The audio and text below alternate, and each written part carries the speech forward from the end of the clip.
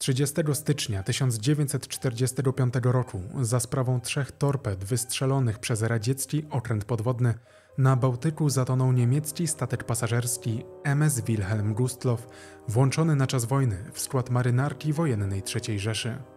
Według służącego wówczas na statku Heinza Schona, pełniącego funkcję asystenta ochmistrza, w momencie ataku na przeładowanym pokładzie znajdowało się ponad 10 tysięcy osób, w tym m.in. żołnierze Wehrmachtu, gestapowcy, działacze NSDAP oraz cywile ewakuowani z Prus Wschodnich.